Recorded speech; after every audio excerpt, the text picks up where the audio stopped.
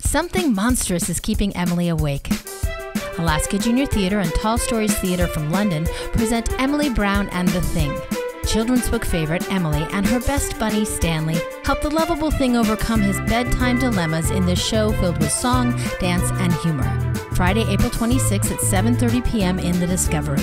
Come in your pajamas for a PJ party before the show.